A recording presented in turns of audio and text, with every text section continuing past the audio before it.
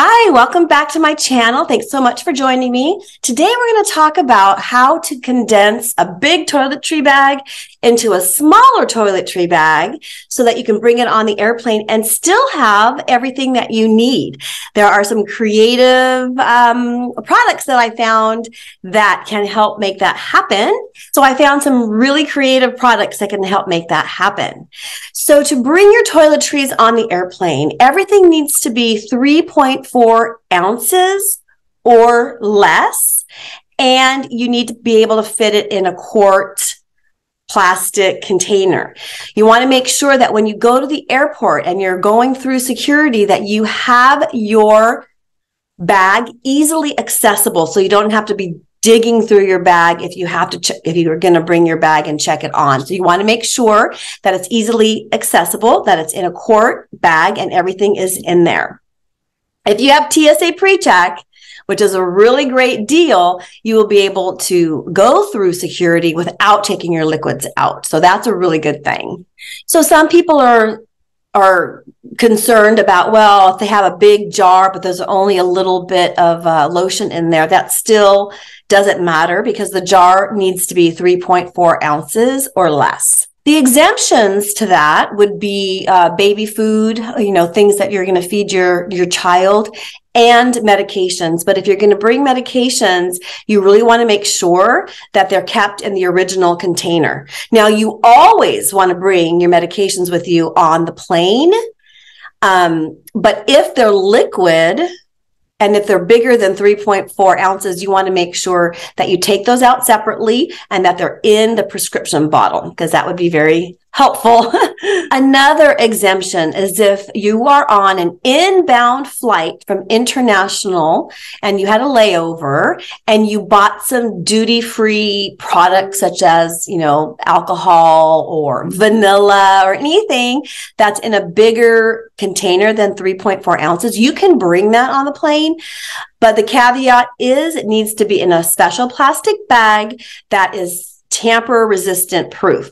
So um, it needs to stay in that bag um, on the plane until you get off at home. So that's really important. And when you buy it, they, they put them in that tamper resistant bag with a notice that you cannot open that bag until you get home.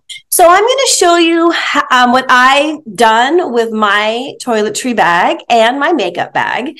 So if you bring powdered makeup, that's powdered, you can bring that on board. If you bring solid products, you can bring that on board too. Solid in terms of like a lipstick is solid.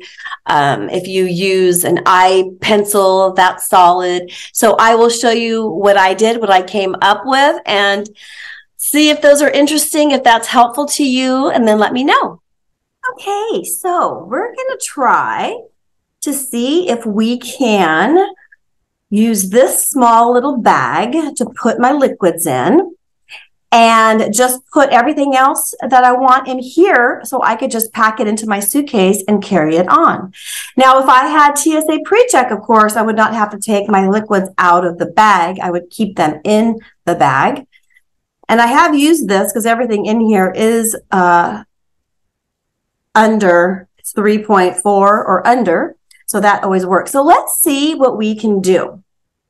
First off, there's no way that you could bring a regular sized sunscreen on to the airplane.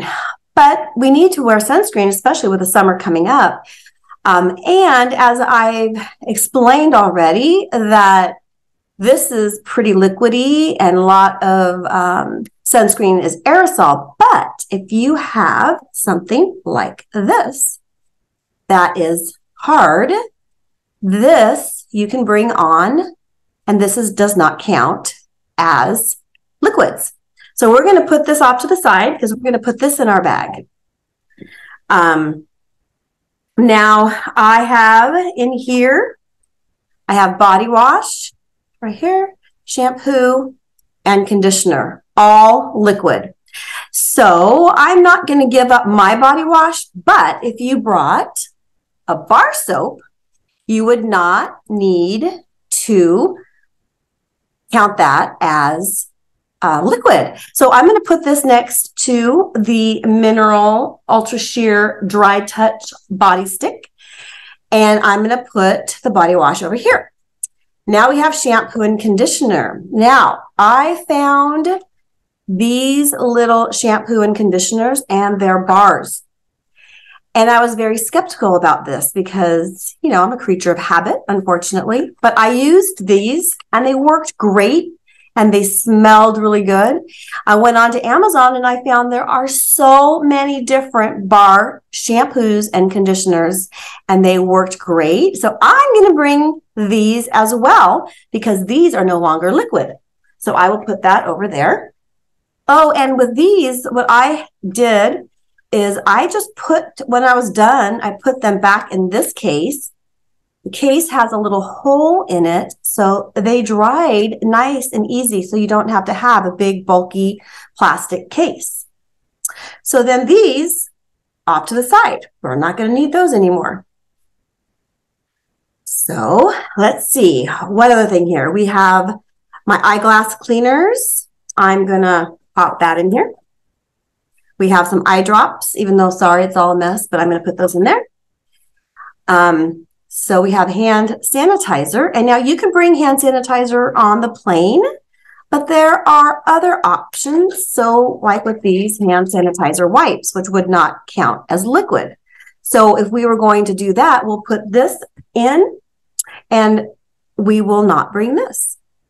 Now, TSA for the time being says you can bring up to a 12 ounce hand sanitizer with your luggage on the plane um, until further notice, but you need to make sure that that hand sanitizer goes into a separate bin so it can get screened separately. And I like to have my essential oils in case I get motion sickness. So I have peppermint and I have DigestZen. And then I have these little tablets, tablets. So I'm going to bring the tablets and not this liquid. That way I'll only have the peppermint I'll put that over here and I will pop the liquid in here. So let's go into here. I have toothpaste. Well, look what I found. I found toothpaste tabs and I use them and they are just fine.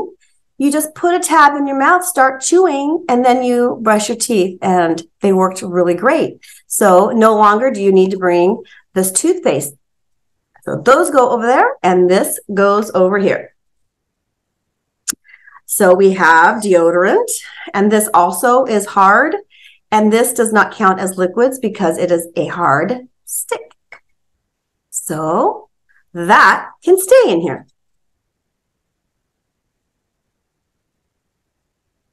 And then I have this retainer cleaner, which I have to bring, and that's what I would need to bring. So uh, that goes in here. Then I have my face creams and I'm going to bring those. So those are going to pop in here. And I always bring olive oil with me. Not only do I use it on my face, but if anything should happen, if I get hurt, if I got sunburned, anything, if you have really good olive oil, it's magic. So I bring it everywhere I go. And here is another face serum that I use that I'm going to make sure I bring. I don't need that body lotion because I have this very small body butter that I have in here. It's not full, but it works really great. And I'm bringing this with me when I travel. And this is, you can smear this. So this needs to go in here. So we're doing pretty well so far because I've gone, so I have hair products, small little hair products and I have face wash. And the rest, and we'll talk about the lipstick in a minute. so let's see. let's see what we can do. My hair stuff and my face wash. And I think you can put it in a big, a little bit bigger because I think this is a small quart. But let's see. Either way, zip this baby up. It's tight. But I did it. Look. And, you know, you don't have to bring two face lotions, one for the day one for the night. But at my age, you know, I want to continue my skincare routine when I travel. So here we go.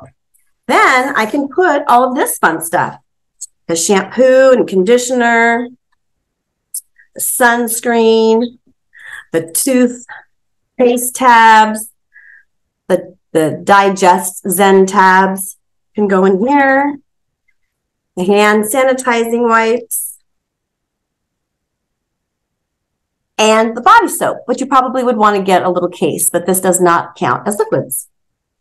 The other thing that I have as well is this sunscreen, powdered sunscreen for your face. So I'll make sure I bring that when I travel. And that's not, does not include, is not included as liquids. So there we have it. And then this becomes, you don't even need to use this, but you know, I love it because I can always put all the stuff back in here when I'm in my hotel. Now let's talk about makeup. I don't use cream makeup, so I don't have to worry about that. And almost all of my makeup is either a powder, which you can bring, these powders. Lipstick is a hard, so this does not count as liquids. The only thing in my makeup bag that counts as liquid is let me find it. I know it's here. Is my concealer because it is liquidy. But all of my other makeup, I have the pencils and lipstick. I always like to bring um, a fun color in case I want to get dressed up, but then I usually have a, an everyday lipstick. I'll have a fun color lipstick. And then, of course, I have to have my chapstick. So as long as it's a hard powder or um, a hard, um, you know, gel like like your lipstick, those are fine to bring. So what I would do when I when I'm going to travel, I will pare down what I bring. And I probably won't bring eyeshadow like that because I love these things. They work so great. No fuss, no muss. And so the only thing that I would need to put in here is this. And if I had lip gloss, it would go in here as well. And in other countries, when you're traveling internationally, um, you may or may not have different rules, so you would just need to pay attention. But this is the way that you can put your liquids and bring everything that you want, being creative and bringing it on the airplane. Well, I hope you thought this video was helpful and interesting. And let me know what you think. Would you ever use bar soap, bar shampoo and conditioner? Um, let me know. It really worked. And uh, so it was fun to find out and it was fun to play with them. So let me know what you think. Thank you so much for watching. Please like and subscribe. And I'd love to grow this community and have a great day. Ciao for now. Bye.